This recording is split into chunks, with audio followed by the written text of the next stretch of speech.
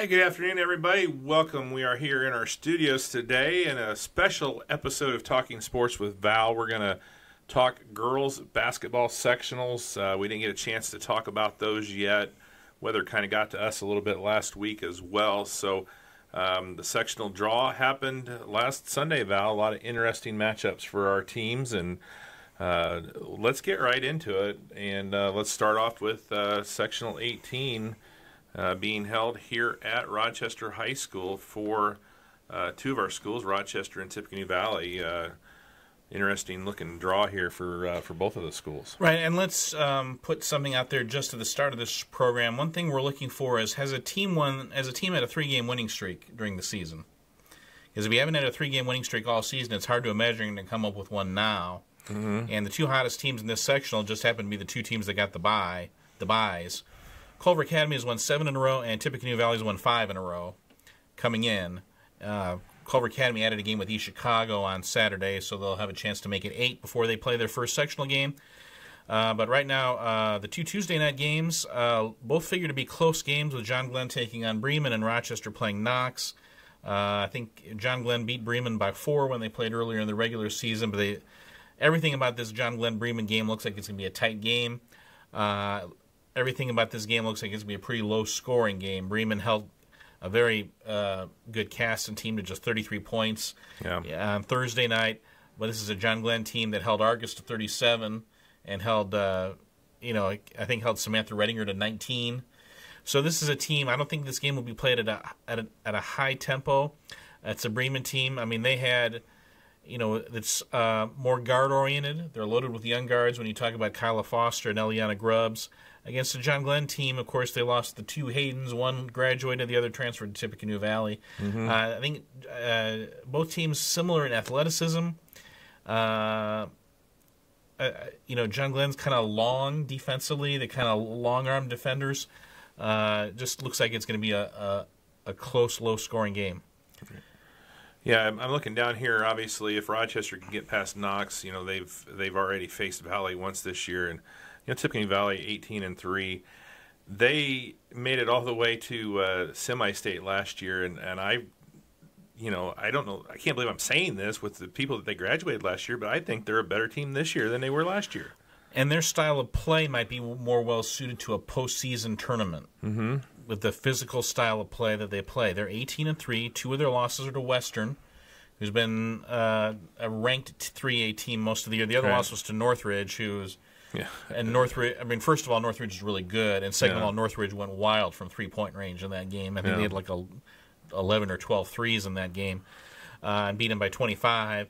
Uh, but this is a Valley team. I mean, they've got the best record, and they might have done it. They might have played the toughest schedule on top of it. all. right, right. I mean, uh, and the, Valley went five and zero against other teams in the sectional. They played every uh, they played every other team in the sectional once. They won all five, and the smallest margin of victory in those five games was 15 points. Mm-hmm. I mean, this is a Valley's clearly the favorite. I mean, they you know the you know they they, they had the, that long break after the Knox game. They didn't play for over two weeks, and then four games, and then they play four games in seven days. And what do they do? They hold West Lafayette to 30. They hold Kokomo to 32. They hold uh, Wawasee to 31, and they hold Ma- Manchester to 31. Mm-hmm. So I'm not a math major. I I know we're not supposed to do math on the year, but that's 31 points a game over four Right. games. And it's not like they were playing teams that can't score. I mean, Brooklyn Buzzard scored 23 against Rochester the other night. She scored three against Valley. Yeah. And that's two words Chesney Miller. Yeah, I mean, she is. They're so good defensively. They got Gabby Gonzalez back, so they went from being a really good defensive team to being an even tougher defensive team. right. Ava Egolf had a career high 24 points against Wawasee the other night. Um, you know, they, they won that West Lafayette game where they couldn't make a shot, but they still held on and won. And, you know, the, the, I think the, the big fear was after Macy Peterson came down with her torn ACL, what were they going to be like? Well, Lucy Hayden has stepped in and she has played excellent basketball. She had 24 in a game at that Carroll Holiday tournament. Um, has stepped in, and they really haven't they really haven't missed too much of a beat. Yeah, it seems like you know next man up for the for the Vikings has been uh, you know definitely the case for them. You know, even starting the year, you know, with the graduations. I mean, I just, I like I said, I'm just blown away that they graduated. You know, as much talent as they did, and and they come back and and just put another team together. Just Right. so good. Right, and it's a different team. There, there isn't a Caden Smollett on this Mm-hmm. team. There isn't a Lily Alt. There isn't really a Molly Moriarty or a Corinna Styles. Yeah. But, they, but they've just kind of filled. They've just kind of um, become a different style of team. It's one of Chris Kindig's best coaching jobs, no Yeah, doubt. yeah, and he, he does such a good job of making sure that everybody understands their role, Right. and you know they play very well in those roles. Yeah, I mean Carly Steiner's given a boost off the bench. I mean, a, Mm-hmm. a six-one girl who can score and can shoot threes and can post up a little bit, mm-hmm. and you know, th- th- and she comes off the bench. I mean, it's just they've got um, it, again. It's not an explosive team offensively, but uh, they have um, they have kids who can score, Yeah. and they're not. I, certainly, Egolf is probably their their go-to, but they they're not totally reliant on her. Yeah. Yeah, if you slow her down, I mean, there's other options, and they just play such good defense that it's, you know, you can be having a little bit of an off night if if you're Valley, and, and they play such good defense that they'll make up for it. Mm-hmm. And would they would they let Knox Knox scored what 15 points against them? Right. And, And I mean, Rochester scored is- and Rochester scored 16. Yeah, I mean, Knox is regularly putting up in the 60s. Mm-hmm. I mean, just crazy numbers, and they held them to 15, Right. and they could be seeing them on Friday possibly. Yeah. Uh, So- Yeah, it would be it would be interesting if we had a Rochester Valley game Friday night, the second game of the sectional. Yeah, Uh, yeah. In the sectional semifinal. Obviously, we're hoping for that. It would be the first time they would have met in the postseason since the 2015 semi-state. Yeah, that was a little bit of a big game. Yeah. So that is sectional 18 held here at Rochester High School. So we're really going to be looking forward to that. We will have Yeah. uh, all five of those Right. games on uh, RTC and IHSA Champions Network. Yeah, but Culver Academy is playing well. Like we mentioned, they won seven in a row. Had a really great win over number three Mar- Class One A number three Marquette Catholic on Thursday night. This Yeah. team is, and their defensive average is down to 37. Yeah, and they had a big win against Bethany Christian as well. Right. I mean, I know Bethany has got some injuries they're dealing with, but still a very good team there. Yeah, Culver Academy is yeah. I mean, defensive average down to 37 against a pretty tough schedule, Mm-hmm. but Valley put 56 on them when they played during the regular season. So if it Yeah. came down to that matchup on Saturday night, would Culver Academy be able to stop Valley? Yeah. Well, it'll be an interesting one. We'll be there for all five of those games, so we'll have that coverage for you on IHSA TV and on RTC4. So let's move on down the road a ways to North Miami High School. A couple of our schools participating in the 2A sectional down there, hosted by North Miami. And uh, right out of the gate, only one quarterfinal game, and uh, that should be a really good game here. Wabash and Winamac, and a couple pair, a couple teams that haven't played in a little while, each other. First times they've played since 2002. Yeah. Wabash beat Winamac in a sectional semifinal that year. Wabash wound up winning the sectional that year, the whole the whole sectional. Um, but of course, that was co- that was Coach Swaney back then. I don't remember who was the Wabash coach back then. It was- It wasn't Coach It Stone. wasn't Coach Stone. No, he, Yeah. he's only been there since 2015. It seems like he's been there for It does, yeah. centuries. Yeah. Uh, but uh, you know, um, when you this is a, a an intriguing matchup to see how each will go at each other defensively. Um, you know, Wabash has their big three with Caitlin Honeycutt and Briley Boggs and Kiera Wilson, and Winamac has their big. What do you say? Their big four with Maggie It's- Smith and Candace Croft and Sadie Popejoy and Marissa Iverson. Yeah. Uh, but you know, I'd almost say it's a big five with Piper Link yeah. How does Wabash defend the post? Because they don't really have a true post player. I mean, Wilson is, I, I consider more of a wing than a post, but Boggs can play guard and the wing. Uh, will Wabash try and press? Uh, in terms of defensively, again, and I'm probably, I always say I'm in a bad position to talk about Wabash because I saw them play their worst game of the season when they scored only 14 Right. points against Rochester against a 2-3 zone. But Winamac does play a 2-3 zone. They do have that in their in their arsenal defensively, but they can also play a 1-3-1 and they can also play you know a junk defense. I mean, Coach Stasiak uh, can come up with something creative, and then they can work on it over the weekend. Not not making excuses for Wabash, but it was a it was a Saturday afternoon game, and I know Kiera Wilson was way under being hundred percent in that game. Yes, I mean we were in fact shocked how how much and how uh, how kind of I mean, how she was able to go at it. That with she was even ankle. playing, We, we, we, yeah. ad- we admired her effort tremendously. yeah, and she's doing better now. Both teams won their holiday tournament, for what that's worth. Wabash won the Wabash County tournament, and Winamac won the Indiana Kitchen Classic. Yeah. So both teams know what it's like to raise a trophy. Uh, you know, Winamac had that three. You know, Winamac's lost four of their last five, but the one game they won, they played awesome against Pioneer. Uh, Wabash is, I guess, playing a little bit better right now. Uh, maybe feeling a little bit better about themselves. Uh, I, I, this game, I again, Winamac has, I think, more weapons. I, Uh, but the only problem is Winamac lost to Twin Lakes last night, and Candace Croft didn't play. Yeah. I don't know if they were they're just being careful Yeah. with her. I mean, she did play against Pioneer, but came off the bench and played what maybe about ten minutes. if that, If that, if that, not yeah. a lot. Yeah, um, yeah. I, I think I think they're probably just you know there's nothing to gain by playing her against Twin Lakes. Mm-hmm. Um, so I would assume they're probably just trying to give her a couple more days to recover and, and get completely healthy. Uh, to me, you know, of all the names that you said, I, I think the wild card in this whole thing is Marissa Iverson. Yeah, because she has something that Wabash doesn't. I mean, you can put Honeycutt up against, you know, the the guards of of Winamac, and you can put the guards of Winamac up against. But I think Iverson really represents something that uh, could be that X factor. I've been watching Tony Stasiak coach teams for a long time, and his teams always he's always been able to develop post players, and part of developing post players is also developing kids who can feed the post. Mm-hmm. And you saw when she had that she scored with 16 against Pioneer, and in that game, I think like four or five different players had a had an assist on a post pass. Link is a really good post passer, mm-hmm. but like even Brody Goodman, who's maybe what their seventh player, their eighth player, she had a beautiful post entry pass. Smith can get the ball in the post. Croft can get the ball in the post. And if Wabash plays that two three, they'll put Link in the high post, have her catch, and then look down for that. High, and that high low play is just Yeah. deadly Yeah. uh, for Winamac. So that's something that Coach Stone is going to have to counter Yeah. at some point or have an answer to. Moving on to Friday, there you have uh, three teams that got first round buys. North Miami, Lewis Cass in that first game on Friday. That should be a dandy. You know, North Miami hasn't had probably the the win loss record that you would uh, you know think that they should have this year. Um, but obviously they're hosting, and you got Lewis Cass coming off of uh, you know that loss to uh, to Rochester. So how do they? Uh, I don't know if they've had any more. If do they have any more games, regular season games? Lewis Cass is at Maconaquah tonight. At Maconaquah, and so if they Lewis, got- yeah. if Lewis Cass wins the game, they'll share the TRC with Whitko. Yeah, so still a lot to play for. so for still a lot to play for. They're not looking ahead. Yeah, Uh, you can't you can't imagine them looking ahead. Again, Lewis Cass is one of those interesting teams, and it seems like they're, we always talk about it, uh, this type of team every year. They're not an explosive offensive team, uh, but they've won 18 games. So can you? They've won a lot of 42 to 32 type games. Can you do that in? Does that work in a postseason format?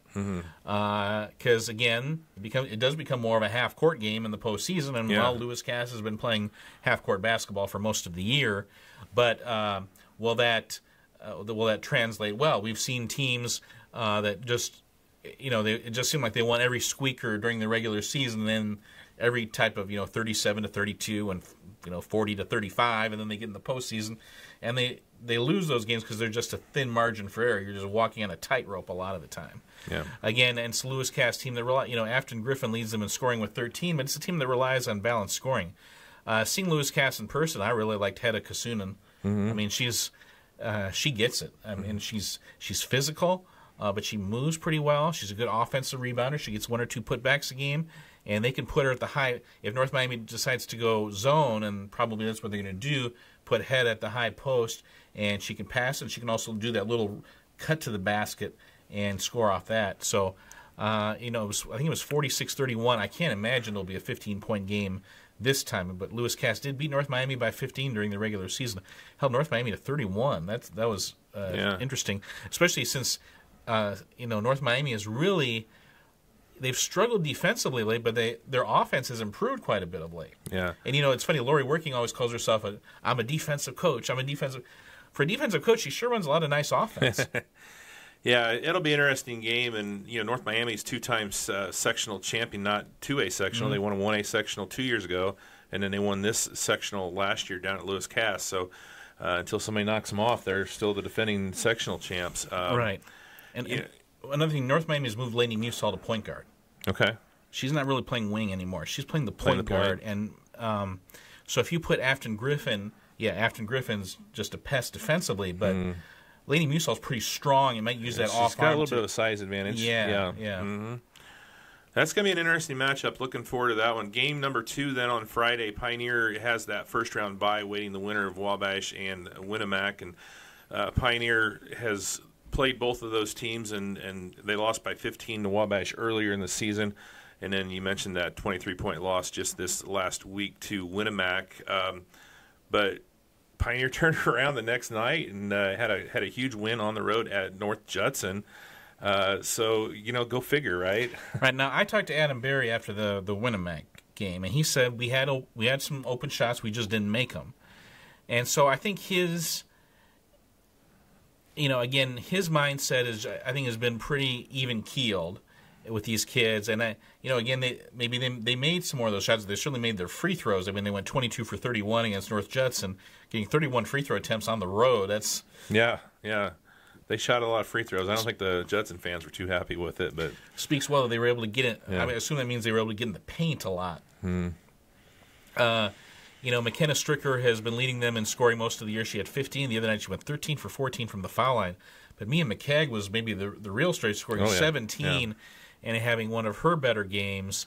Uh, again, uh, curious to know what what Pioneer's mindset will be going into that game.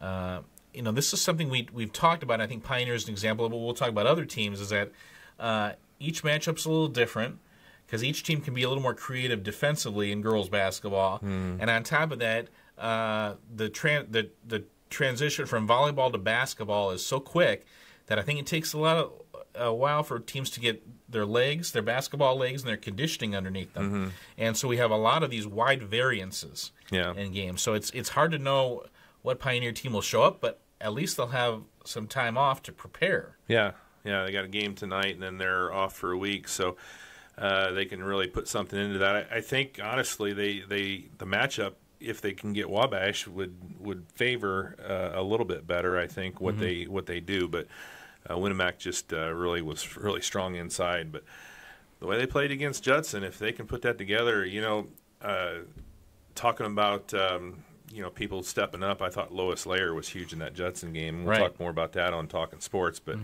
Um, you know, she has really stepped into uh, you know helping McKenna with the ball handling, mm-hmm. and uh, you know they, they need that because a lot of a lot of teams are triple teaming her trying to bring the ball up. So it, it was it was a good game. We'll talk more about that one. So that's going to be an interesting looking sectional there at North Miami. Looking Right. forward to it. North Miami is the two-time defending sectional champion. Yeah. So we'll be down there Mm-hmm. for uh, for the Friday evening game number two there with either Winamac and Wabash Mm-hmm. taking on Pioneer for that one. So let's move into uh, one A. Let's start off with sectional number fifty. Uh, being held at Culver Community. This is a seven-teamer, so just the the one by there with Oregon Davis uh, waiting the winner of Marquette Catholic and Culver Community and then uh, Triton, Trinity Greenlawn playing. I think those are Wednesday games, right? Triton and Trinity is the first Wednesday game, and then uh, game number two on Wednesday will be Westville and Argus will be there for that one on Wednesday, and Triton Trinity Greenlawn winner will take on the the Westville Argus winner, and then um Oregon Davis taking on the winner of Marquette and Culver then on Friday. Well, let's look at that. Cul- uh, the Culver Marquette Catholic game uh, is first up. Culver played pretty competitively against West Central on Thursday night. Lost, I think it was 49. It was either 49-42 or 49-43. I've seen two, two different reports. But regardless, Brianna Schlemmer had 17. And, you know, with her and Alexa O'Brien, they give you that, you know, in boxing, they call it a puncher's chance. And mm-hmm. and in girls basketball, I think you call it a shooter's chance. Yeah. If Schlemmer and O'Brien can hit from the outside, and if Grace Sieber can can hit from the and you know Grace is you know she, I, c- consider her more of a kind of a slasher, but she can hit the three as well. And maybe with their shooting, they can give them a chance. But again, it's a Marquette Catholic team that was number one in the state in defensive scoring average coming into the week, average allowing only twenty nine point one points a game, and they're ranked number three in the state. Yeah. and they're the only team with a winning record in the sectional, Yeah, they're they're going to be and they're the only ranked team in the sectional. Yeah, I mean, yeah. uh, eighteen and three coming in. Right. Again, uh, you know, if you're and if you're Coach Collignon at Marquette Catholic, well, they lost to Culver Academy on Thursday night. She she maybe maybe she's cursing out loud, but maybe underneath her breath she's saying kind of a blessing in disguise to get that'll help our team get focused for next week. Right. I mean, you got to look at their route. I mean, they've got a pretty good route to the uh, championship game. You know, Culver Community at four and sixteen, and then a five and thirteen Oregon Davis team. You know, Right. it's it's a young Oregon Davis team that doesn't have a whole lot of depth. So Right. um, Kraus and Thompson and Patrick are kind of their big three, but they're not they're not an especially physical team. yeah, and uh, I think they're all their three best players are all sophomores. It's just it, it's kind of hard to win in the postseason that way. But I think Marquette Catholic is a really good freshman uh, who's their leading scorer. So I didn't. yeah, yeah. I heard. I don't know her name, but yeah, Uh, yeah. So, but again, it's. I think Marquette Catholic has made strides, but to- boy, to beat Mar- um, or, or I think Oregon Davis has made strides, but if they were to beat Marquette Catholic or frankly Culver, I think that would be uh, asking a lot of them. Right. You know, down on that bottom half of the bracket, uh, could we see another Argus Triton matchup? That's, uh, you know, that matchup at Culver in the sectional. We've seen that one a lot, and Right. Of course, Argus beat Triton in overtime in the sectional final last year Yeah. at John R. Nelson. yeah, uh, you know, it's a Triton team. Obviously, you, you got to uh, find a way to to slow down uh, Addison Veers. I mean, she's Right. just uh, a dominant force in the. I wouldn't say in the paint, but she's a dominant force on the court. Yeah. because she has really expanded her game as far as her shooting goes. Right. And they also have a veteran guard in Faulkner, and I really like that Sidney King, who's played well for them as well. And the Mm-hmm. Yeah. The Holly And girls, King has some good size too. yeah. And then Holly is a sophomore, and I, she's a pretty good athlete. Mm-hmm. You'd have to think Triton would be favored against Trinity Greenlawn, and then Westville Argus. Um, the weird, what, what a weird schedule, but Westville they they've only played 16 games, and then they go the last week of the regular season. They go Thursday, Friday, Saturday. They play. They played last night. They played Laporte tonight, and they play Morgan Township on Saturday. I don't know how that schedule wound up happening, but to go Thursday, Friday, Saturday, you're going to bounce back on Wednesday for a sectional game. It's not ideal. Uh, and then again, if you haven't seen Samantha Redinger play in person before, uh, boy, I certainly would think that would favor Argus, just because. Again, I, I'm again everybody has MaxPreps, and I'm sure West Westville is going to look at. Wait, who is this girl? She's averaging 32 points a game. Yeah. But boy, her style of play is just different than you than you've seen. I don't think anybody plays a style like Argus does. Yeah.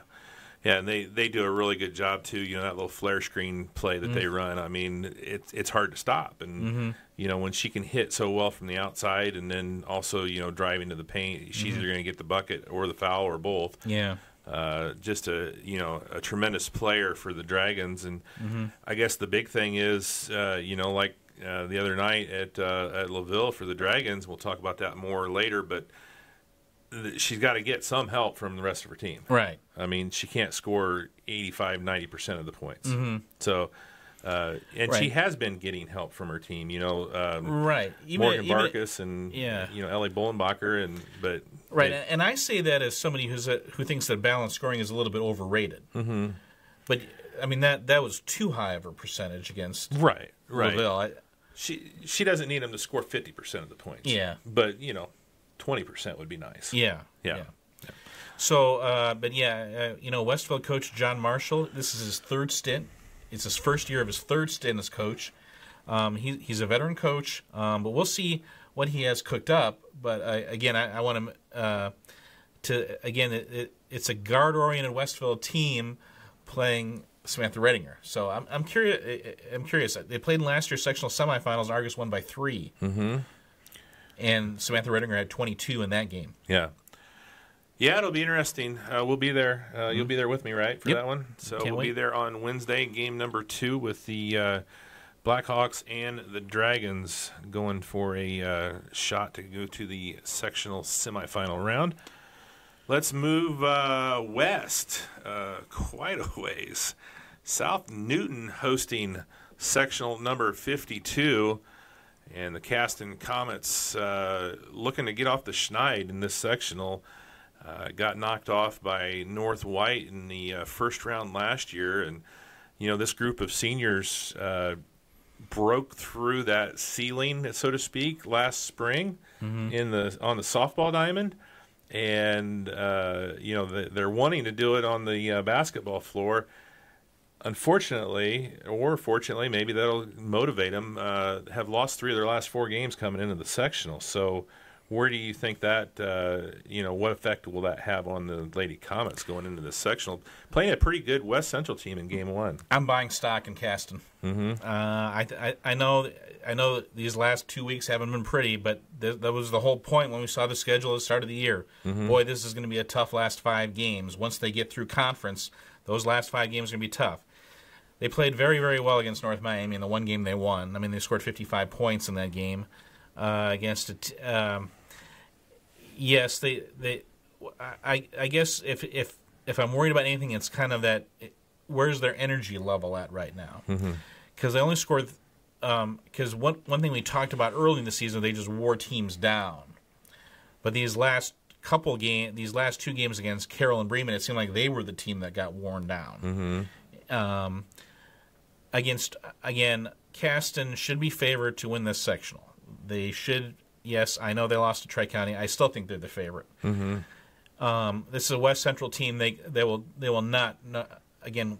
Isabel Scales is a matchup nightmare for every one of these other teams in the sectional. They they have no answer, and Bell is just I, she I, she is capable of carrying a team on her back. Uh, to this again, the the struggle has always been for Caston is once you get into the postseason, it becomes more of a half court style of basketball. Can Winamac get buckets in the half court? Uh, I mean, remember that sectional final two years ago when they lost at North White, and North White just put that zone on them, and it was just, it was just, it was like, just kind of putting in shackles on them. So, can they get some transition buckets? And the other thing we talk about is can they get a third double figure score to go along with Scales and Addison Simpleman? Yeah. You know, Maddie Douglas seems to be that. Uh, you know, we talk about Iverson with Winamac. I think Maddie Douglas is that X factor for the Comets. If she can, you know, get up there and not only obviously handle the ball, but if she can get up there in that 12 to 14, 15 point range, Right. they're going to be sitting pretty good. Right. She scored 13 against Bremen in their regular season finale. But again, I, I trust that if she scores double figures in a 1A sectional, she'll be fine. Yeah. And again, in tri, against Tri County, basically everything, the first quarter was horrendous. The last three quarters were fine. Mm-hmm. Again, Tri County hit seven threes in that game, and Caston hit one. Yeah. Caston went one for 14. Uh, I'm not, again, I, I I've seen it before. I remember in tw- this reminds me of the 2017 Class 3A sectional when Valley lost to Northwood during the regular season, and they ran into Northwood again at the West Noble sectional, and it was just a totally different game. And uh, again, Valley just flushed the regular season matchup, and they they, they won the they won they won the postseason game. Uh, again, Tri County must be respected, and Tri County got a great draw. They should beat uh, Frontier and North White and get to the sectional final. But again, I, I, I still like Caston's chances. Yeah. I think the, the biggest thing, obviously, is uh, that's going to be a lot of time on a school bus. It's not a quick drive over to South Newton from Fulton. Right. So they're going to have to be, uh, you know, well prepared for that.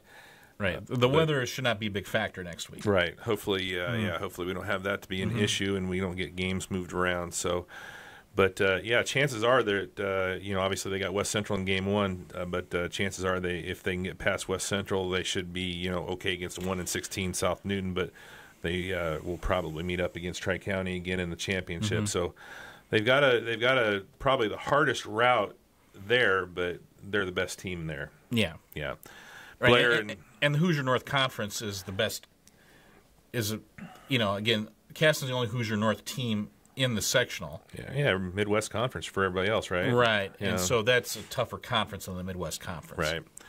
Well, Blair and Pete want to make a, about three trips over to uh, South Newton next week as well. So we're hoping that the, the Comets can uh, get them there and that they can get that sectional championship and, you know, possibly, uh, you know, just like what uh, what happened in softball, right? I mean, once they got past that sectional, look out. You know, things just kind of went uh, really good for uh, the Comets. I guess the other thing I was going to talk about, and I kind of uh, glossed over a little bit. So, uh, what also happened with the draw? You know, we changed formats. IHSA changed formats last year, so it's not the two-game regional like we had before, and they don't even tell you who you're playing or where you're playing. So they they know we know who each of these sectional teams will be playing, right? We just don't Right. know where yet. Right. We know whoever wins sectional 52 will play the winner of sectional 51 in Okay. regional. That's the sectional with Fort Wayne Blackhawk and Bethany Christian in it. Okay. But we don't know where it will be played, and they won't announce until after the sectionals are over. And two of our schools are hosting regionals with Caston and Winamac. Right. Again, if Caston wins their sectional, we'd be shocked if they didn't get sent to Caston. There's no guarantee of it, but Yeah. again, historically, the IHSA has put teams in their home gym when they have the chance. Yeah. Uh, again, because there are they're it, they're just for logistical reasons, uh, not necessarily because they want to give bless somebody with a home court advantage, but because there are a lot of people from Caston who have to work the sectional, working Right. con- taking tickets, working concessions. Right. Let them have that. Let them have at least team. the home team Right. Yeah, to, Yeah. to at least allow them to experience their home team and Yeah. performing in the in the game. So sectional If- 50 would play.